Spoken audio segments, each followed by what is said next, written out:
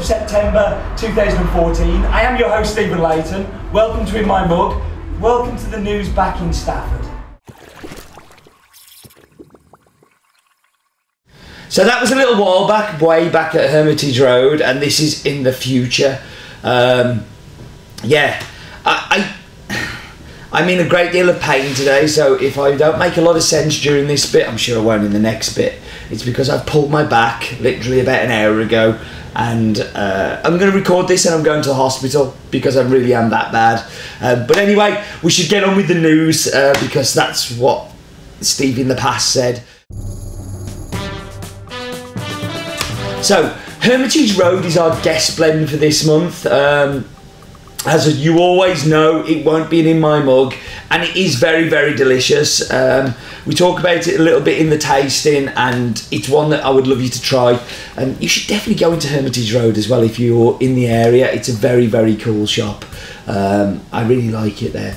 Anyway, another coffee that won't be an in my mug and it's a very exciting kind of project that I've had in the back of my mind for a little while. So some of you may know that I I, I also own a business in Ireland called 3FE Third Floor Espresso with my uh, business partner there, Colin Harmon, um, and. Um, we've had this idea for a while that we quite fancied doing a collaboration roast between 3FE and Has Bean here uh, in Blighty. So Ireland, Anglo-Irish collaboration, um, which is pretty cool. It's pretty cool because we get to try some different coffees, but also the roasters get to learn and to work with each other. So the plan is we're going to send Roland, you know, from Roland's Daft Fact, we're going to send him to Ireland, and he is going to roast with Simon, who is one of the roasters there, uh, part of the 3FE team, um, and. Uh, they're going to roast the Finca La Lujon uh, honey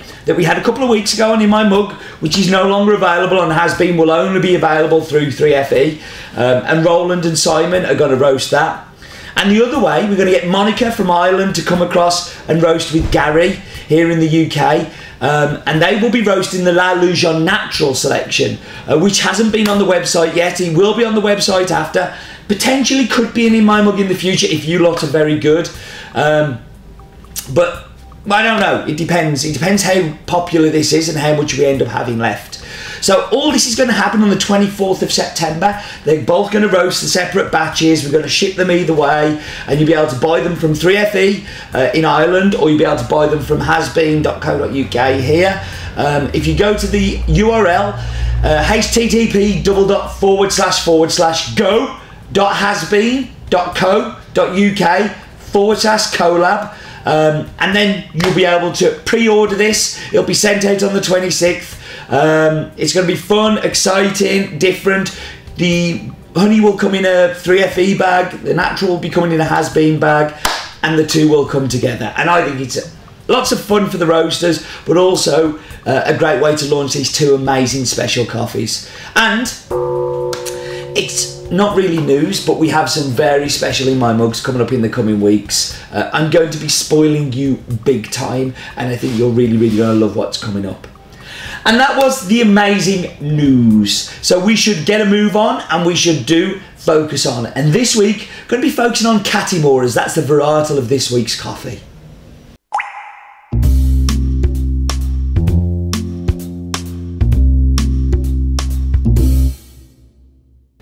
So focus on this week's coffee is a 100% Catimor, a controversial variety. Catimor is a cross between Timor, um, which is a it's a, a robust, that's robusta kind of in its DNA, uh, but it's very resistant to leaf rust uh, and borer um, and caturra. Uh, and Caturra is uh, very, and we know Caturra, we've seen it a lot on here. Um, it was created in the weirdest of places, Portugal, in 1959. Um, it grows and produces fruit very, very quickly and has incredibly high yields. It's super pest resistant, super resistant to disease, in particular leaf rust, and will grow at much lower altitudes compared to many other, uh, many other varietal. Um, and all of these things make it sound perfect, but that robusta in the Timor is definitely something that can affect the um, uh, can affect the cup quality. Um, you know, Robusta is known for not being particularly delicious and not being particularly tasty. Although Caturra, the other part of it, definitely is known for being uh, incredibly delicious and incredibly tasty. Um, there's also other problems with it. So the other problem is the plant grows very quickly. Um, it produces fruit very quickly and it produces incredibly high yields. This in turn has a knock on effect. This knock on effect means that the plant gets tired much more quickly than uh, you would uh, expect it to. So the plants will last for, like Bourbon varietals are well known to last for oh, I've seen Bourbons of 100 years old um, whereas this one is it, it is known to be much more um, uh, 10 years and it starts to get tired and yields definitely start to drop. Um, so yeah, it's an interesting varietal. Uh, there's no such thing as a bad varietal. There's a such a thing as a varietal planted in a bad place. Um, and what we're going to find here that they can be amazing Catimors. But that was focus on.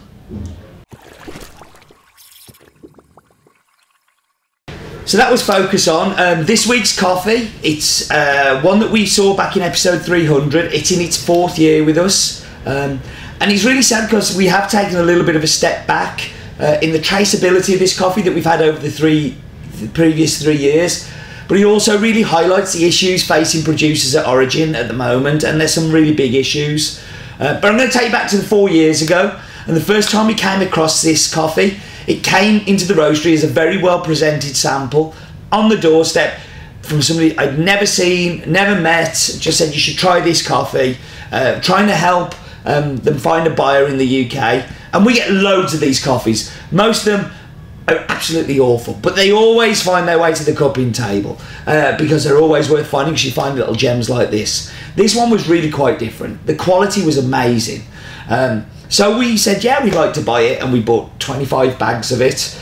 And they shipped all 25 bags in one container, just a big empty container, so we would have this coffee.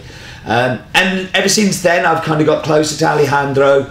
Um, I've been to see him lots and lots of times. I was there in January this year. He was here at London Coffee Festival this year. But also, uh, he came to Stafford as well, and we took him to Manchester to meet some of our customers. Um, and we've been really doing some experiments, some great projects together. He's become a really, really good friend, and we're looking that he might be coming over again in uh, November to come and hang with us here at Has Bean. Um, and I think that's really the most important part about this relationship. We have a great friendship as well as buying this amazing coffee. Um, Ali took over the running of his, it's his father's farm and originally his grandfather's farm um, four years ago. Um, and, and having returned to El Salvador after a very successful and lucrative career in investment banking, um, he's incredibly well educated, he's incredibly intelligent, he's a businessman, and he understood that if he wanted to sell, get more money for the coffee, they needed to step up the things they were doing on the farm. He's done lots of work on making the cup be better. Um, you know, he broke it up into separate tablons last year where we had Vincona one and we had uh, all of the different um, little plant, uh, the, what was it called? The uh, Los Mangos. Amazing little subplots on there. Um, we had eight plots uh, on the farm, seven of them that we bought, and um, we've had to take a step back from that this year because there is so little crop. So I've talked about this a few times, but Roya leaf rust is it's a fungus that grows on the coffee plant, makes the leaves fall off. Um, and makes them unable to photosynthesis and do all of their funkiness and make the fruit ripen and uh, be delicious. Um, and it's just been a huge, huge problem there. Now, this is one of the varietals that has probably saved Ali because this hasn't gone down at all uh, because of its resistance to this rust, because uh, this varietal. But all of the other Bourbon that's on the farm has been hit terribly um, and really has caused masses and masses of problems. You know, lots of producers have lost 30, 40% of their crop this year. Ali's lost 90% of his crop. And the reason he's lost 90% of his crop is that the um, the neighbours around haven't been looking after their plants. This has had a big effect on his harvest. Also, he did lots of pruning, he's done lots of replanting, he's ripped out lots of plant stock that wasn't performing well. Um, just at a time where his yield's been massively hit. He was already expected to be 40 to 50% down this year, but he's down 90%. Um, uh, it's been so much of a problem. Ali's actually bought the farm next door now to try and control the rust there, so he can have control over what's happening on Argentina. Um, so yeah, this is, as I've said, is the Catimor lot. It's a controversial coffee varietal, but this is one of the best examples I've ever seen of this varietal. Um, and I think it just goes to prove there's no such thing as this bad varietal. Um, lots of people harp on about it. It's about the, a, a, bad place for a varietal, not necessarily um, a bad varietal. Um, it's only a very small plot on the farm, um, and you may be wondering, because um, I know I would be, uh, why you're paying a little bit more for a Caturra uh, than you would for a Bourbon. Well, I think this is simple. Um, when Ali goes and picks this coffee, he has to separate it. He has to have separate pickers. He has to keep it in separate sacks. When it gets to the mill, um, it has to be all separate. And if the truth be known, Ali would rather not harvest his coffee this way. He would rather just pick everything. It'd be called Finca Argentina. It would be about 5% would be Catimor, so you still call it a Bourbon, really. Um, it's hassle, it's fiddly, it's a pain in the backside. So this is our opportunity to, to reward Ali for actually picking this great small lot of coffee. Um, and what we've done is, you know, we pay the same price for it, but it's actually, it works out, we've sold the bourbon a little cheaper than really we should have this year, and this makes up for that, and it all balances out at the end, and Ali can get the great price that he deserves. And that's something we've been working on very closely with him, is to try and pay him more and more for the coffee. Um, I should tell you a little bit about the farm. So it's based in the Apaneca mountain range, uh, near to the town of Turin, uh, in Ahuachapán department. Um, the farm itself employs 16 people full time, um, and they maintain the farm security.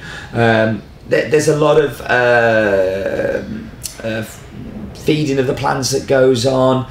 Um, during the picking season, that roasts around about 50 people. Um, so there's a lot more on there. Altitude of the farm is 1,350 metres above sea level.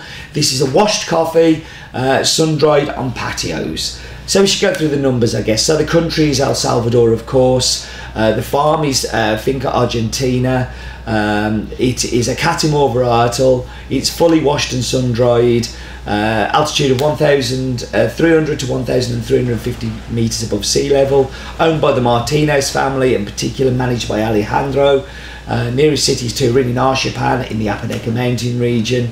And I think that is everything. oh coffee really hurts my back too. Um, so we should go and do Mr. Glue, tell us your daft fact of the week.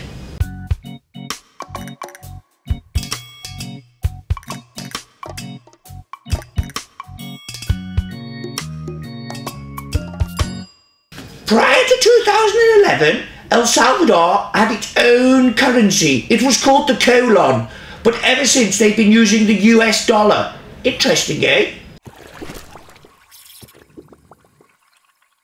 always interesting, Roland. You are a very, very interesting man.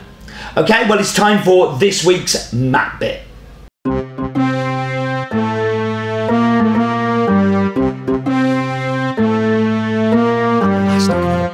This liveness. I don't like the liveness. Let's go back to video, it's much easier. But here we are, we're going up to Blighty. If you've watched an In My Mug in the past, and if you haven't, welcome. Uh, this is what we do. We do the map bit.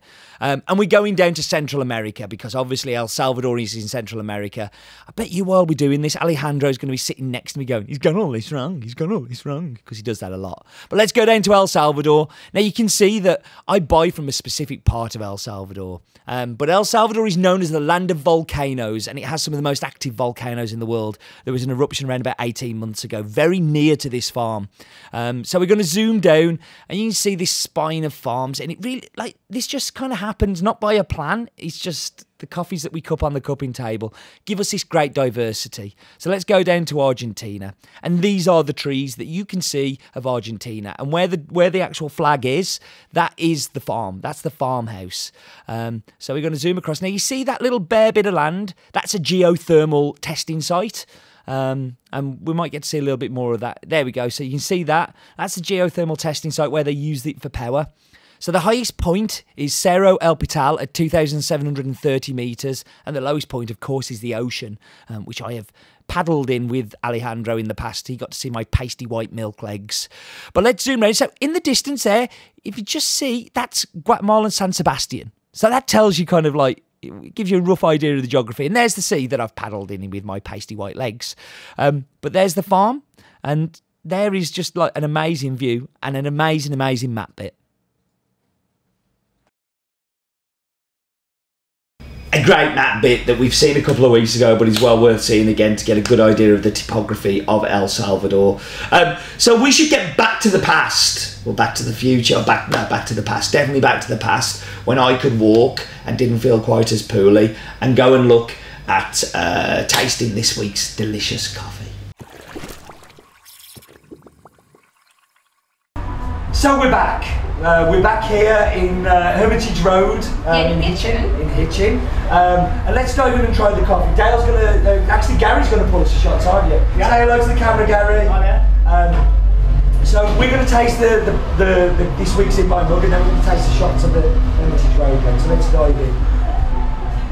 So it's a little hot, a little oh, warm. Yeah, it is, no, but it's, oh, it's So this is a this is unusual as it's a Catimor. And Catimor is a varietal that tends to be produced not so good coffee.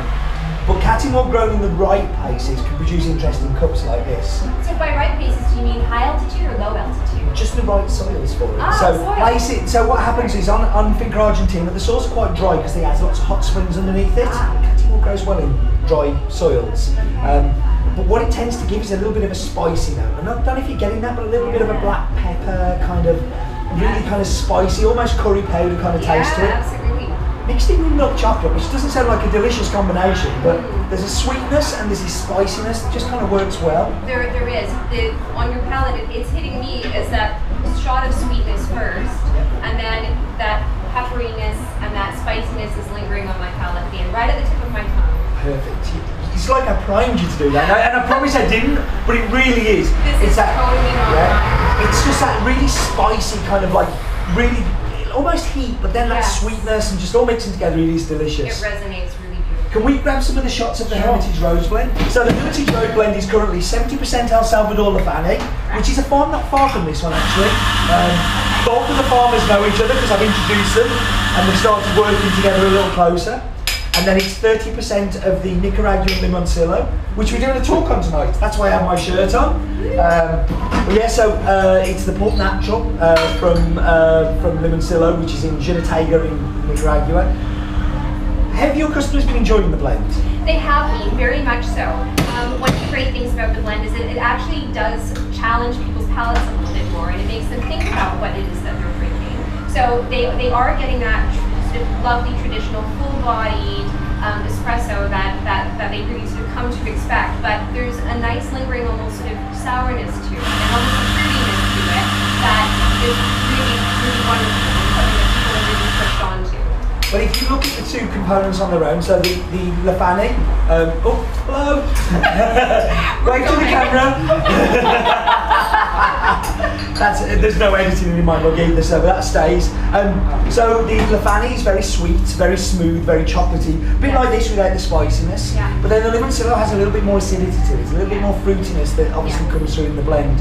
So we're in Hitchin. How do people react to that in Hitchin? Because I, I, I, I know here a little bit because I used to live in Luton many, many years ago. Ah, okay. So I know the area a little bit. Yeah. And it's not somewhere I was struck that would have a really like funky coffee shop like here. Yeah, well, it's interesting. I think our customers are very much switched on to what's happening in coffee.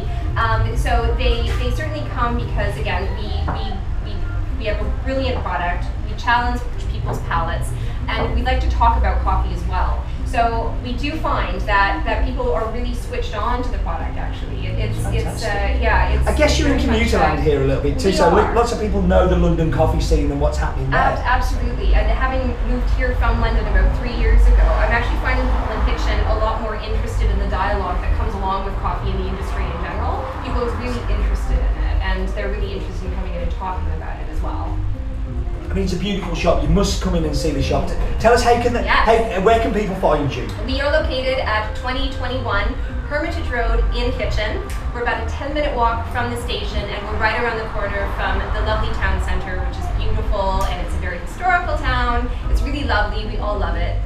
That's cool. No, that's really good. So let's talk about your blend because obviously this is the guest blend for this year, this this Mhm. month in Sent- September. Yeah. Although we're not in September, we're kind of telling lies for the camera. But um, for me, that sweetness is really prevalent. Like you Yes. really, and it's thick and it's gloopy. The mouthfeel is really big on it too. Yes, it is. One of the like what I love about this coffee is that I have been able to get people who normally take like three sugars in their coffee to have no sugar in their coffee because it's just wonderful to drink on its own. It does beautifully with milk. So if you want that sort of traditional cappuccino, lovely with a little sprinkle of chocolate, but to actually this actually just sings on its own. Well, it's got a really big body to it as well. It It actually has a presence, so I can imagine when you add, add milk, it doesn't just disappear. We're not going to make Gary make us milk. No. We'll, have those later. no, no, no, no, it doesn't. It doesn't. It really holds its own against uh, against milk, and it's it's just lovely and drinkable. At the moment, where like my favorite drink at the moment is um, is a cortado double espresso macchiato, and with that sweetness from the well steamed milk, it's just it's like heaven. Can you come on in my mug every week? Because it's great. I don't have to do any of the selling. It's awesome. I can just stand here and go, she's right, she's right. It, it is a delicious blend. Yeah. If you're not one of the subscribers, you should definitely go buy it off the site. Mm. It's going to be on for the whole of September. Um, if you don't make it, you're going to have to come in here and, and, and try it too. Come and visit Gary and I. Yes. Come and say hi. Say that you saw them on In My Mug too, because that's always good for letting me come back again and do another one at some point in the future. Um, listen, thank you very much for hosting me today. Thank you very much for the coffee, Gary. Um, yeah, I think all that's left to say is life is definitely too short.